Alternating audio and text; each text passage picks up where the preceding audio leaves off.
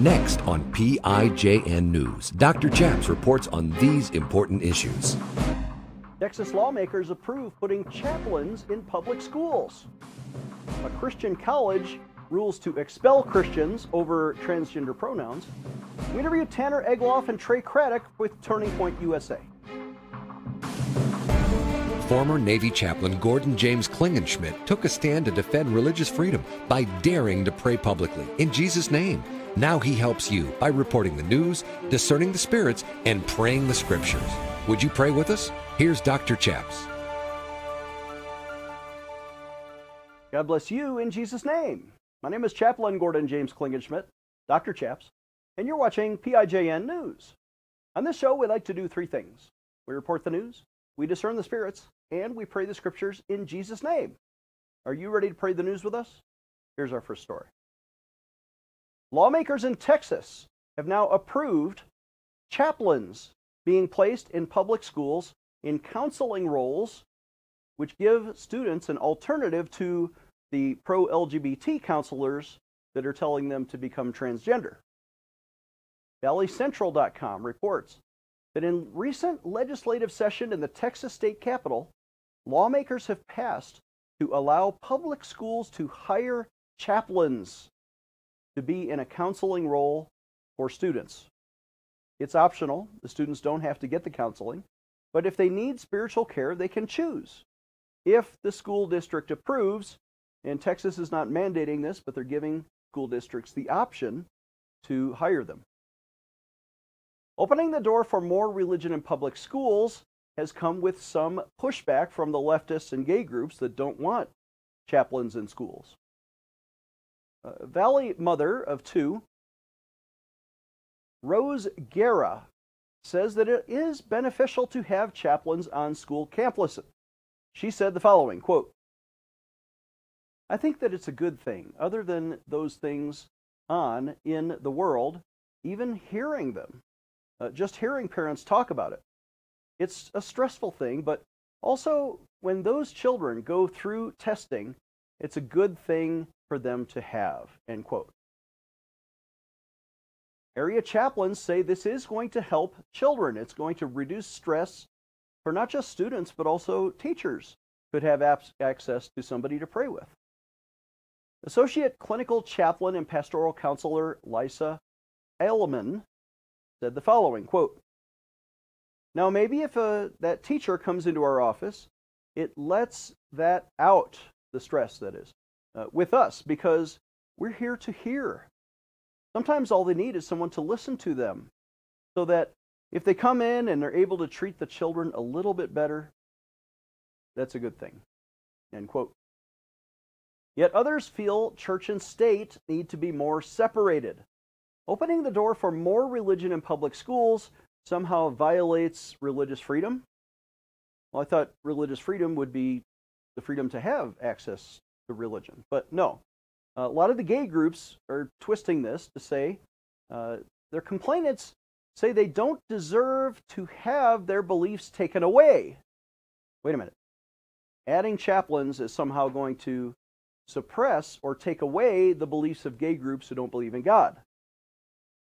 That's their argument. Uh, but they don't have a religious figure, figure saying uh, that they're wrong for how they live. Oh, I see. So they don't want to be told anything that they don't want to hear, therefore, everyone else needs to be quiet. Chaplains understand this conundrum, and they say that passing the law could come with some criticism, but I also say that chaplains and clergy and students can all learn from each other and benefit from this program. That's the news. Our thanks to valleycentral.com for that report. Um, and there were some other pro gay criticisms that I chose not to quote here. Uh, but let's take a moment and discern the spirits.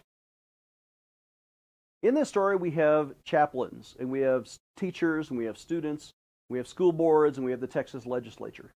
Those are the human actors in the story. Where are the non human actors? How do you discern the Spirit of God, or the angels, or the demons behind the news in this story? We can do that through the lens of human morality from a biblical perspective as it influences the human actors and their choice to choose holiness or sin. What do I mean by that? Well, let's say that you're a student or the parent of a student, right? And you're going to school and you're facing pressures and you're you're taking tests and you're uh, you know socializing with other kids and one day other kids influence you and say, "Oh, uh, you're a boy, but but you talk like a girl. Maybe you're transgender." Well, that kid is now confused by the messages. His parents are Christian, but his peers are pushing him towards this other idea. Where does he turn? He might turn to a pro gay counselor who tells him, Oh, definitely, you're transgender. Go ahead and uh, take the hormones and, and have your uh, surgery. Become a girl, little boy. Well, that's a demonic voice of lying that may be speaking through the pro gay counselors. Where is the voice of God? The voice of God may be coming to him finally from a chaplain, someone who appreciates, who agrees with his parents' faith, and says to a boy, God made you to be special. God made you to be unique. Love yourself the way God made you to be. Don't hate yourself. Don't mutilate your own body. The spirit of love may be speaking through that chaplain, and that is the spirit of God. The Bible says this in Jeremiah 3 I, God, will give you shepherds according to my heart, who will feed you with knowledge and understanding. Let's pray about this. Would you pray with me? Father in heaven, we pray for all of the students of Texas public schools that they will have a choice, that you will set before them blessings and curses, that this day they will choose the Lord and they will receive the blessings of God. We pray this in Jesus' name. Amen. Let's take a short break. When we come back, a Christian college is now threatening to expel Christians over transgender pronouns.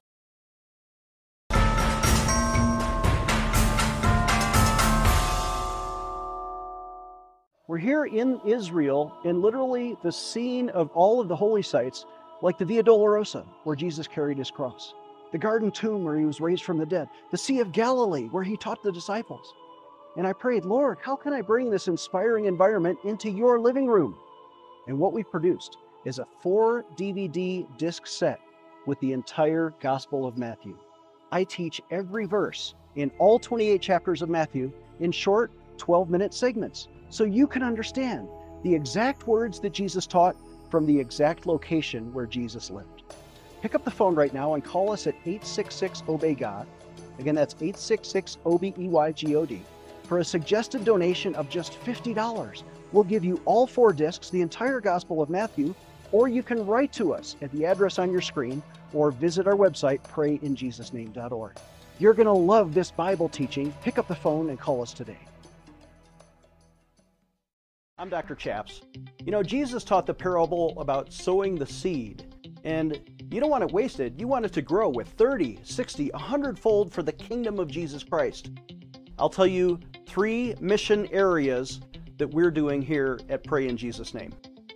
I think our charity does more with less than any other charity I know. We are fertile seed. For example, number one, we pray in millions of television homes every day or every weekend on eight networks. We have 2.5 billion home TV impressions every month. The second area, we feed orphans and children. In some of the poorest slums overseas, we're building a new vocational school, we're digging wells, and we're serving the poor when you give to pray in Jesus' name. Number three, we defend religious freedom, especially for our troops and our chaplains. We've now helped send 5 million petitions to Congress. We've helped change bad laws or policies in 13 states and four times in federal law. You know my story as a former Navy chaplain, standing up for the right to pray in Jesus' name and defending religious freedom.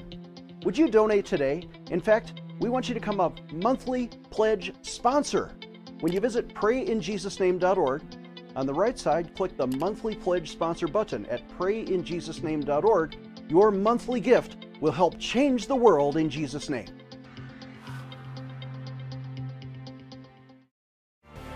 Defending your religious freedom. Here is Dr. Chaps. Welcome back. I'm Dr. Chaps. Our next story comes from Fox News and also The Blaze, who both confirm there is a college in England, a subset of Oxford University, but it happens to be Regent's Park College, one of, I think, 41 colleges under the Oxford system. They're now threatening to expel Christians if the Christians don't use transgender pronouns to address their transgender classmates. That college recently released a statement explaining the school's new disciplinary action policy for students who are dared to be accused of misgendering their peers. Regents Park College, which specializes in arts and humanities, is one of, oh, I think there's 44 colleges within the Oxford University system.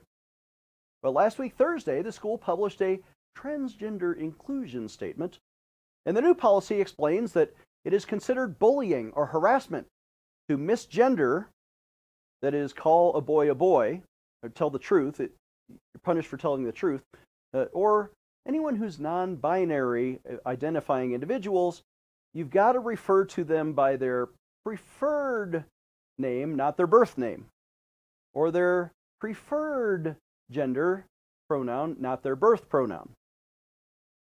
The, the school statement reads as follows quote, Regents Park College, which, by the way, was founded as all Oxford schools were founded as a Christian college, right?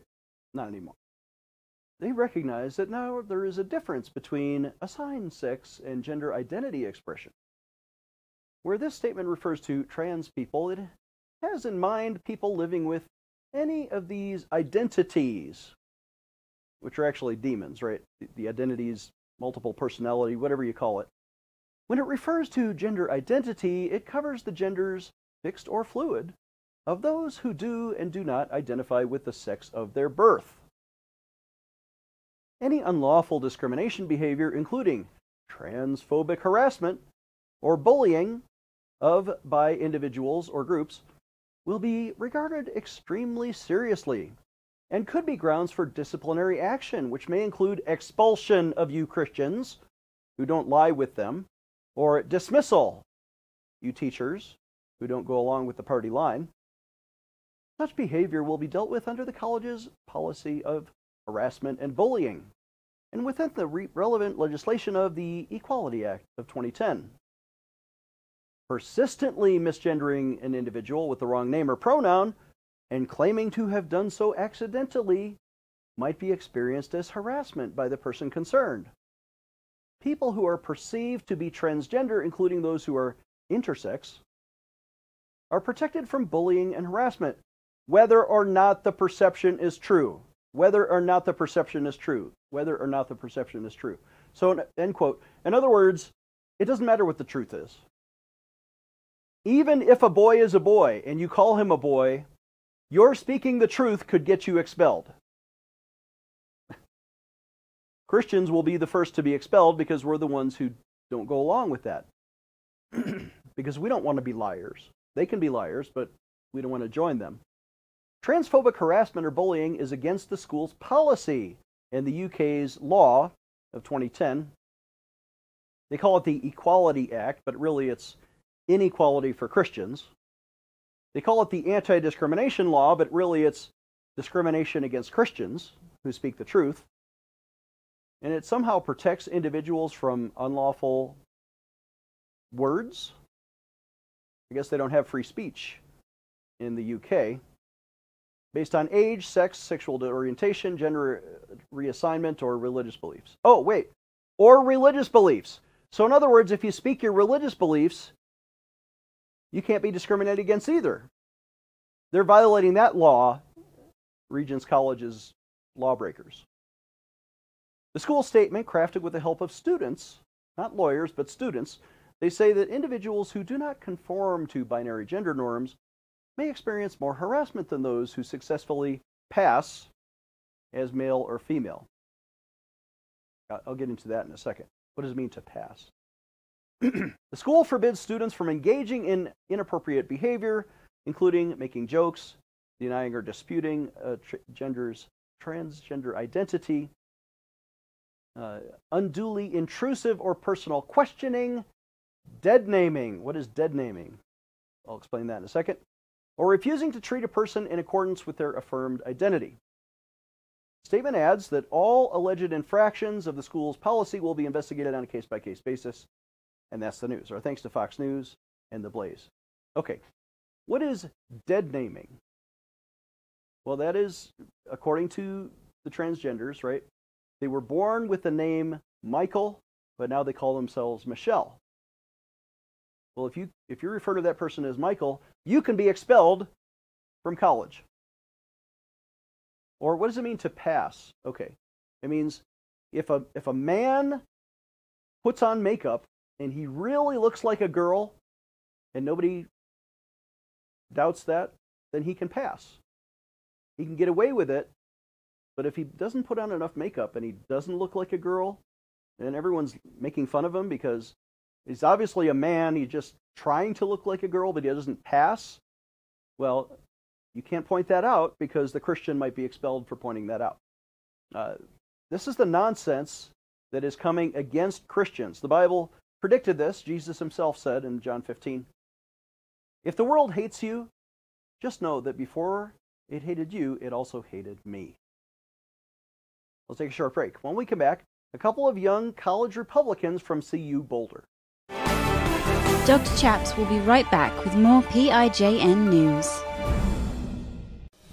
Hi, I'm Dr. Chaps. I want to introduce my friend Mike Lindell, who wants to help support our ministry in the work of PIJN News. Uh, Mike, what do you think?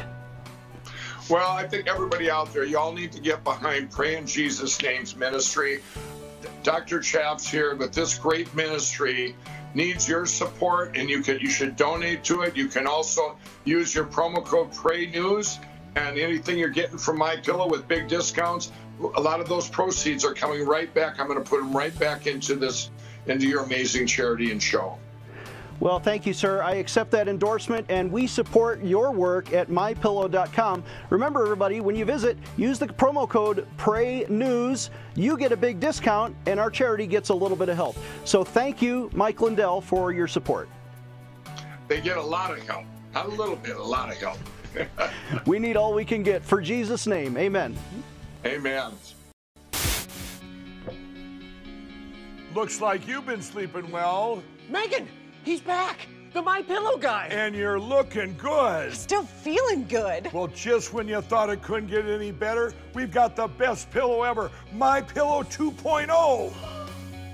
When I invented My Pillow, it had everything you'd ever want in a pillow. Well, now there's new technology that makes it even better. My Pillow 2.0 has my patented fill combined with a cooling fabric with temperature regulating thread.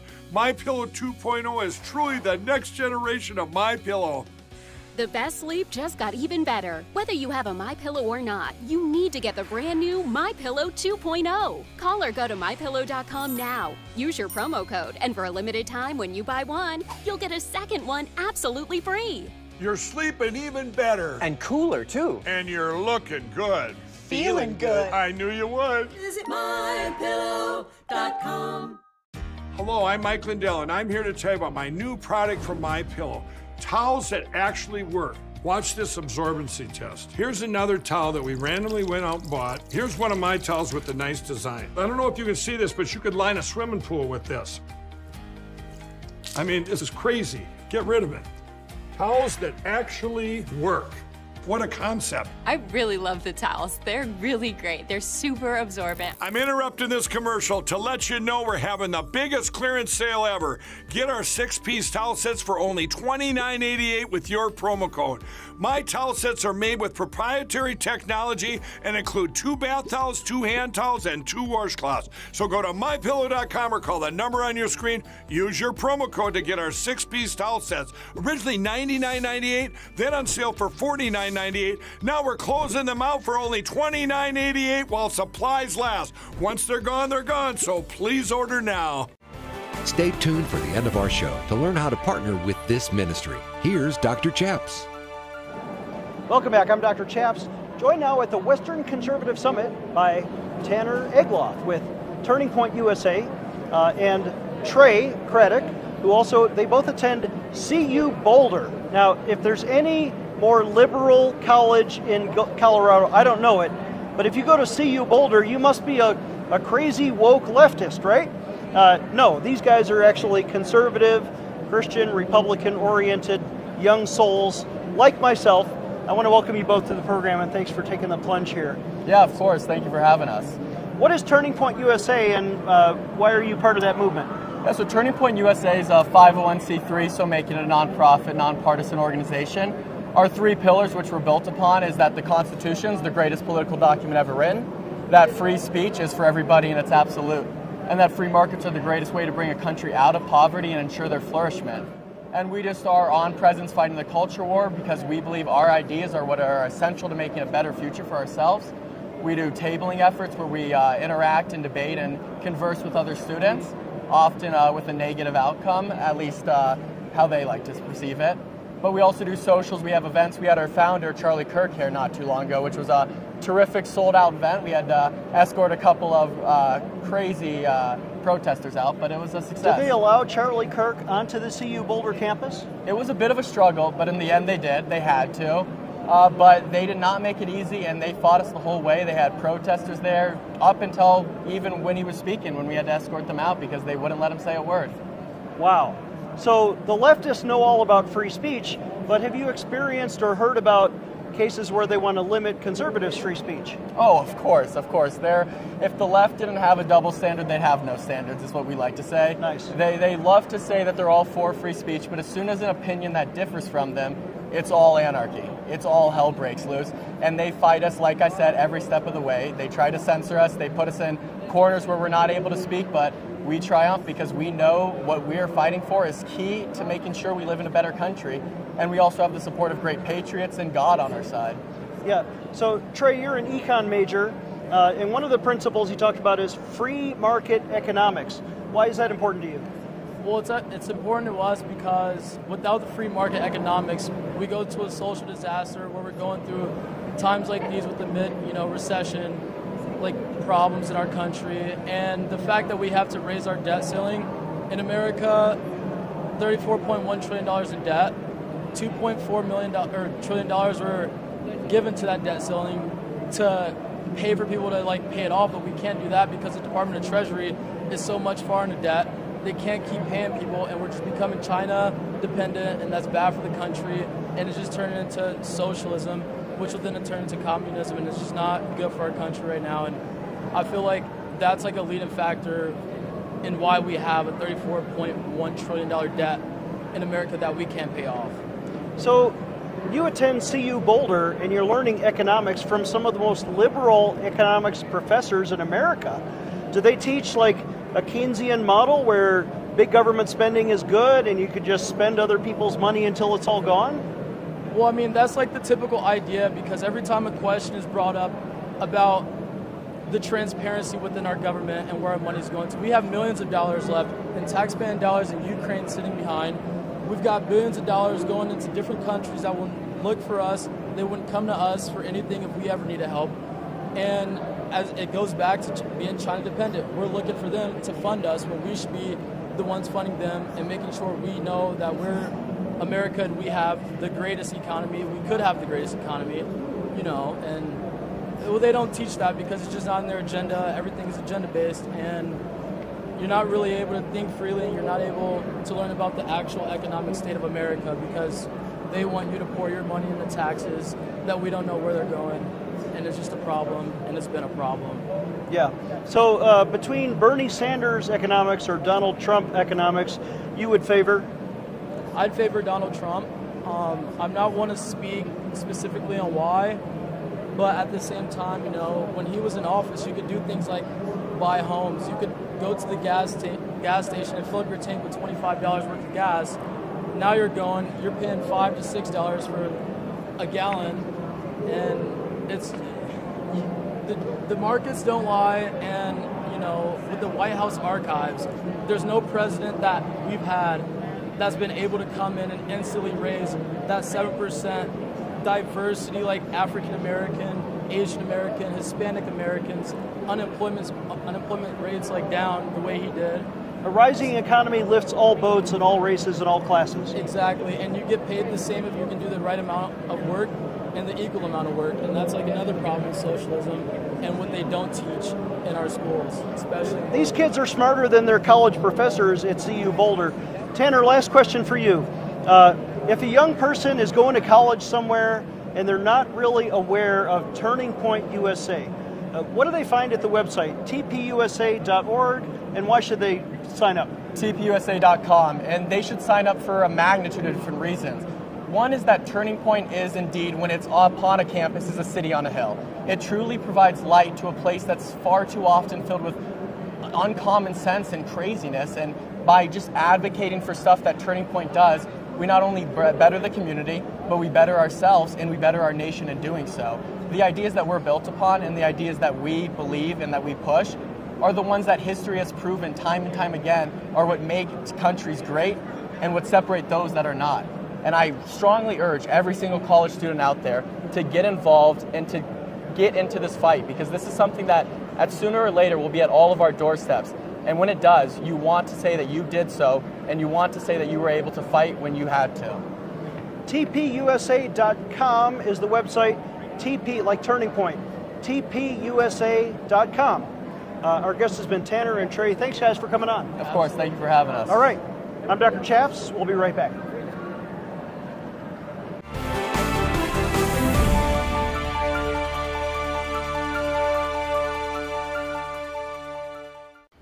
Dr. Chaps. I've been praying and teaching for years about the baptism in the Holy Spirit. How you can have the power of God right now for your prophetic or power gifts ministry. This new teaching goes through not just Acts chapter 2, when the disciples received the power of God from on high and began speaking in other tongues. But we also teach on the gifts of the Holy Spirit and every instance we could find in church history of the gift of tongues. This product is brand new and available to you for a suggested donation of $30.